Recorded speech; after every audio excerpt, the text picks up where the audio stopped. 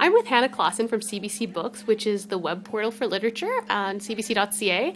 And Hannah's here for Blue Met, asking a lot of authors what their favorite book is and what they'd recommend. But Hannah, I'm going to ask you, what book would you recommend? Well, I have just finished reading a book that I can't stop talking about, and everyone who knows me is going to be like, "Oh, Hannah, quit talking about that book," because I can't.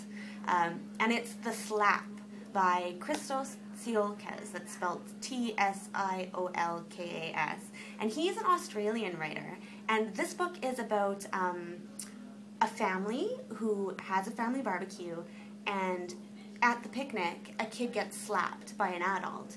And so every chapter deals with how how the, the people who were there uh, react to the fact that the kid was slapped by an adult. And it's incredibly vulgar at times, but it's also incredibly true.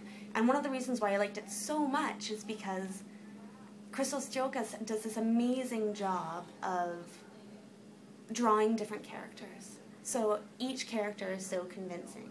Um, and they all have completely different voices. And anyone who really loves literature knows how incredibly difficult that is to do. Plus, it's a pretty awesome story to boot, and, and you know, you got me at that one. You got a good story, I'm there. So the book that I definitely would recommend to everyone is The Slap by Christos Tsiolkas.